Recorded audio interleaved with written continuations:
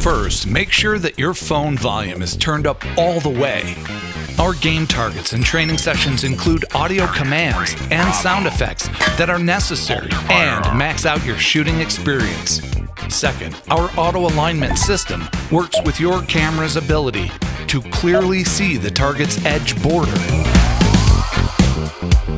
Even and balanced lighting is very important to this function. This is bad. Don't do this. This is good. This will work. Do this.